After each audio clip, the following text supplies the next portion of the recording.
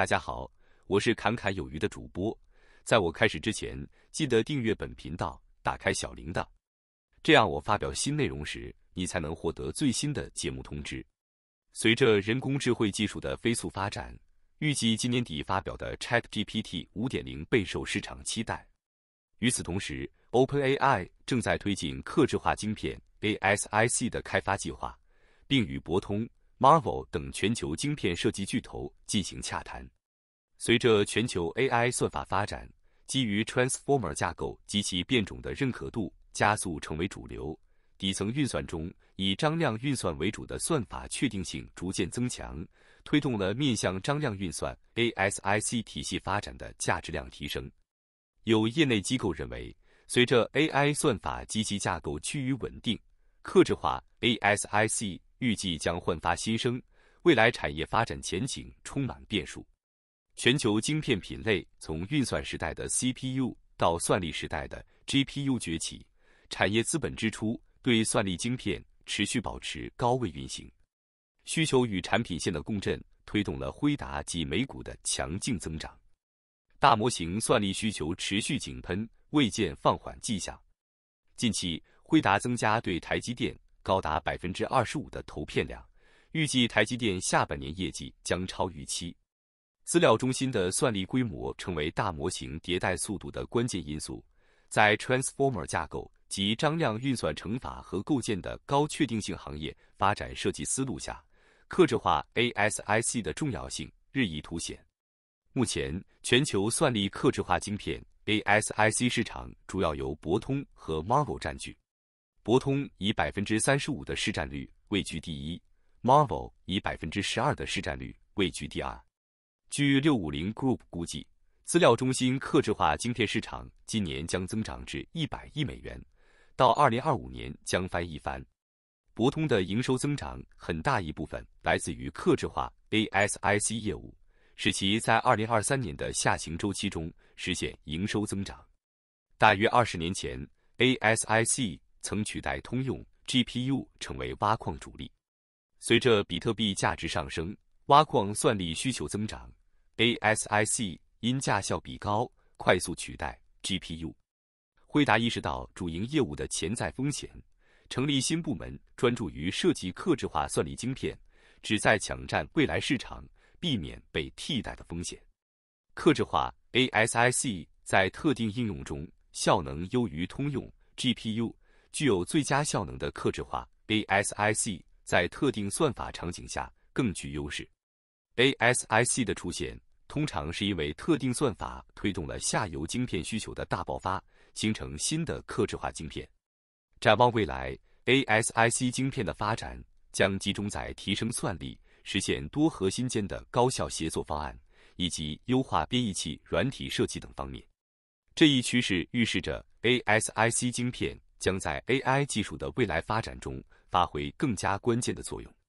AI 处理重心正从云端转向边缘端应用，预计客制化晶片的高价效比优势将进一步放大，市场规模将显著提升。辉达的优势在于其 CUDA 生态和软体配套的完善性，以及 GPU 互联技术的领先性。这些优势为辉达在大模型算力训练阶段。构建了深厚的产业护城河。在晶片溢价方面，辉达的采购量远超博通和 Marvel，拥有更高的溢价能力和规模量产的优先权。然而，就在辉达正春风得意之时，据 The Information 援引知情人士的话报道称，由于设计缺陷问题，辉达的下一代 Blackwell GPU 的上市时间已被推迟。报道称。辉达 Blackwell GPU 的上市时间可能将会推迟三个月或更长时间，这可能会影响 Meta、谷歌和微软等辉达的大客户。一位微软员工和一位知情人士称，辉达八月上旬已经通知了微软，这也影响了 Blackwell GPU 系列中最先进的 AI 晶片的延迟。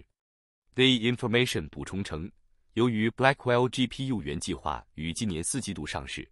这些延迟意味着，预计要到二零二五年第一季度才会有大量出货。辉达的一位发言人不愿就其向客户发送的有关出货延迟的声明发表评论，但其仍然回应称，正如他们之前所说，Hopper 的需求非常强劲，Blackwell 的样品试用已经广泛开始，产量有望在下半年增加。除此之外，他们不对谣言发表评论。微软、谷歌、亚马逊网络服务 （AWS） 和 Meta 拒绝对该消息发表评论，而台积电发言人也没有回应置评请求。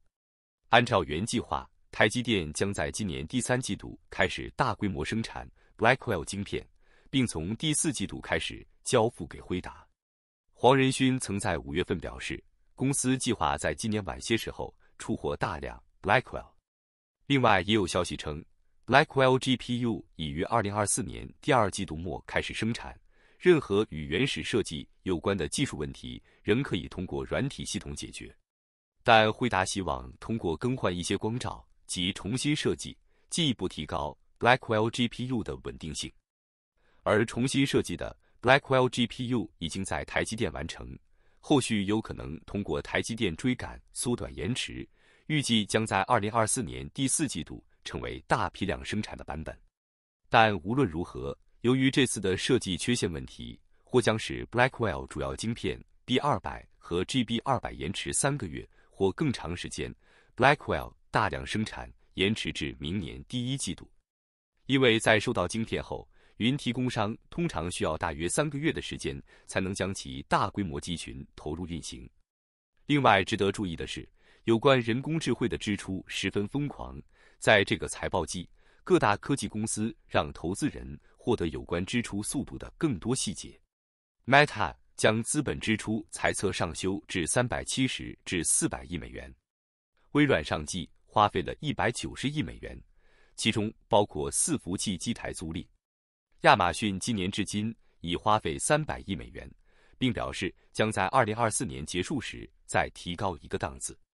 这些科技巨头不断对大众宣传生成式 AI 是下一个智慧型手机、下一个网络，是一种革命性技术。这就是为什么这些公司在生成式 AI 军备竞赛中增加支出。当然，他们肯花钱，是因为他们深信这一点。但支出是否也影响了这个信念？现在的风险是否太高，以至于即使生成式 AI 的承诺无法满足那些崇高的期望，这些公司及其客户也会试图将其硬塞到不真正需要的产品和流程中。历史上充斥着一些未能达到预期效果的革命性技术，例如亚马逊的 Alexa 数位助理。按照一位前高阶员工的话说，他们为此甚至雇佣了一万名员工，实际上仅仅是建立了一个智慧计时器。苹果此前则是每年花费十亿美元开发一款据称会改变产业的汽车，但今年初则突然彻底放弃了这项专案。如果投资人对微软获利的不耐烦有任何迹象的话，接下来的消化期可能已经开始了。另一方面，Meta 继续在生成式 AI 上投入巨资。Meta 管理层仍然预计，Meta AI 将在2024年底成为最常用的 AI 助手。开源 Llama 3.1英支援更快的创新步伐、更好的社交和广告商体验和成本效益。当然，像汽车这样的登月计划只是苹果的副业，对公司来说不算什么。对于 Alphabet、Meta、微软。甚至特斯拉来说，情况似乎更是如此。他们将 AI 作为向投资人推销的重点，他们有动机让它发挥作用，而且是越快越好。红杉资本合伙人卡恩在最近一篇文章中指称，基础设施构建了一个竞相升级的循环，并认为超大规模企业的行动将更加缓慢，甚至可能是理性的，即使不是互相追随。那么，本期影片到这里就结束了，感谢你的观看，期盼能与你产生共鸣。侃侃而谈，阔论有余。最后，请你点赞、订阅，这是对本频道最大的支持了，谢谢。